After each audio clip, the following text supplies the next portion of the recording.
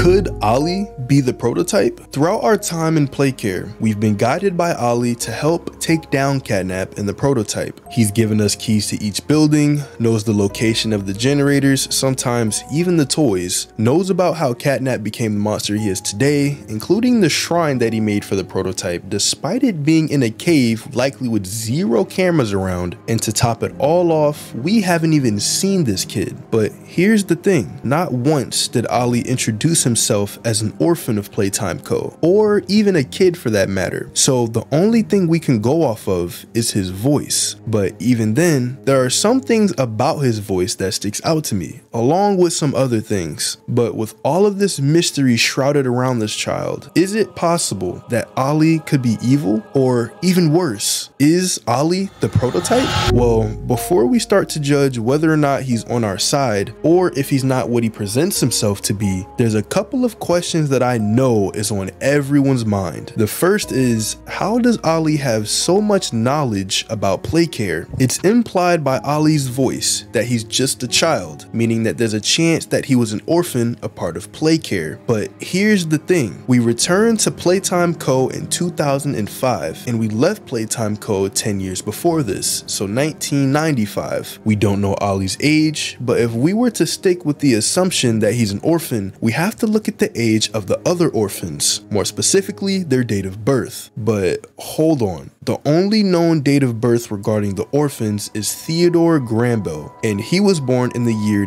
1983, making him 12 years old before he was turned into catnap. It's unlikely that Playtime Co. would experiment with an orphan who was extremely underage, like under 12 years old, and even if they did, they would sound a lot older than Ollie 10 years later. But what if Ollie was 2 or 3 years old when the Hour of Joy happened, and he managed to survive all the way up until we came back, making him 12 to 13 years old. That is pretty much impossible. There is no way that Ollie made it this far by himself and managed to learn almost everything there is to know about Playcare during that whole time frame. All of the experiments have been starving at this time, and it's very likely that Ollie has been too. So for us to figure out how Ollie has so much knowledge about Playcare, we might have to ditch the fact that Ollie is even a child. And maybe, just maybe, we might have to ditch the fact that Ollie is even human. And this leads me to my second question that you might have also had throughout the time of interacting with Ollie. Why does he talk in such a weird way? If you listen to almost every piece of dialogue Ollie has, there's always this unnatural up pitch in his voice, almost like someone trying to mimic a child the best they can. And honestly, they're not doing a good job at it. And overall, he just has some weird choices of dialogue. Like, listen to this. It seems like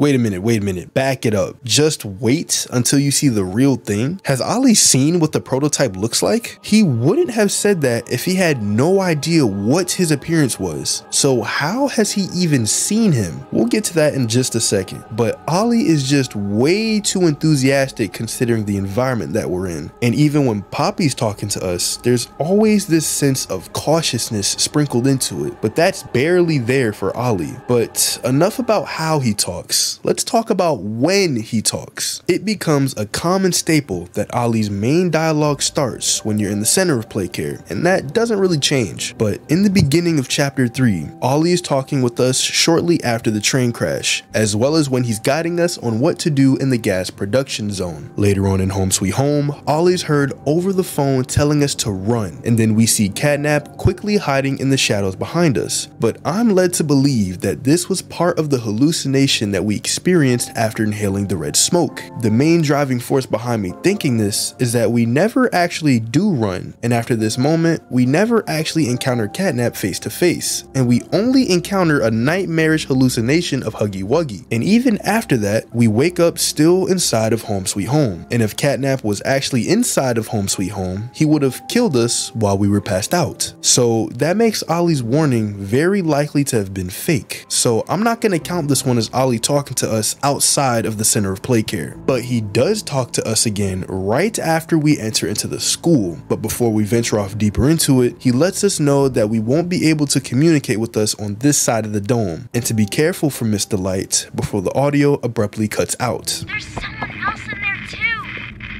Not your. And after dealing with Miss Delight, we end up wandering into the playhouse, which we can guess is still on the side of the dome that Ollie can't connect to. As right when we escape from the mini smiling critters and the bigger version of Dog Day, Ollie immediately starts to ask if we're okay. Hey, are you alright?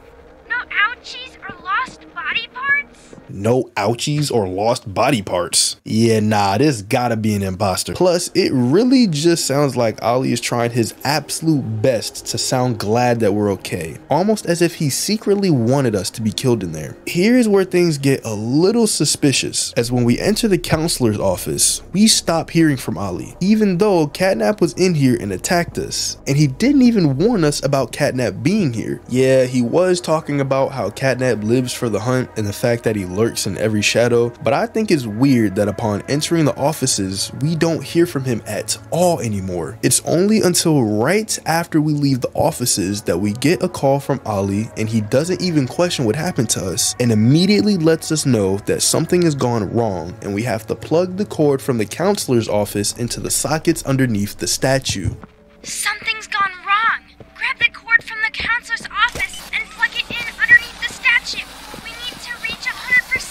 Now, it's very likely that he didn't know we were attacked by Catnap, but it's extremely suspicious that Ollie stopped mentioning Catnap right after he started to pop up more. And I want you to remember what Ollie says after we plug in the cord, because this is very important for what happens next. Now take that huge battery to the gas production zone so we can get.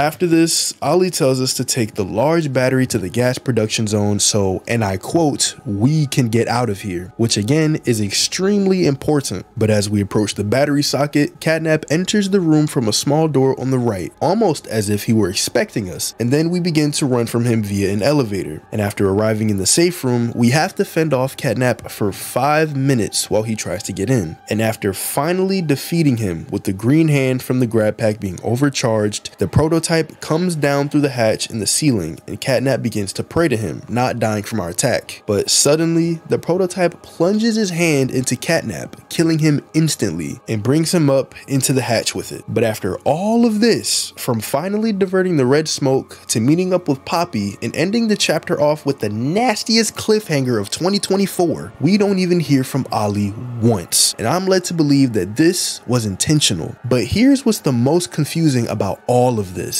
After leaving Home Sweet Home, we're attacked by Kissy Missy, and Poppy lets her know that we didn't do anything wrong and that we're here to help. But she also says this I'm glad that Ollie could help you get this far. He's the reason we found you at all. Okay, so Poppy had some sorts of interaction with Ollie. We know that. But after Poppy shows us the Hour of Joy, she says that they killed everyone. Don't you think it would make sense that she says something relating to Ollie being a survivor of the Hour of Joy at some point in the game? But since she doesn't, then that means Ollie wasn't a part of the Hour of Joy and he's in Playtime Co. some other way. He couldn't have entered Playtime Co. after everything happened because of all the knowledge he has. He couldn't have been part of the Hour of Joy in any way because even if he was, he would definitely still not be a child. Plus, Poppy said that they killed everyone. The only option we have left is that Ollie is not who he's leading us on to be. And not only do I think that Ollie isn't even human, but with everything I've laid out on the table, it's very possible that Ollie is the prototype in disguise, impersonating a child in some random location in Playcare with access to all of the keys and knowledge of the dome. Just think about it for a second. Let's say that Ollie was some child. How in the world would he have gotten himself in some secured location where he has all eyes on us while we're in the main part of Playcare, is able to send us large batteries and keys whenever we need them, knows the lore about some characters even before they were toys, and with all that mystery, he somehow managed to have some sort of relationship with Poppy who doesn't give us any details regarding Ollie even once. It makes me a bit skeptical about whether or not Poppy he's on our side. But more on that in the next theory. But what do you think about Ollie? And why is it that he has so much knowledge and we never even get to see him? Let me know down in the comments. Thanks for watching, subscribe, and click on this video right here.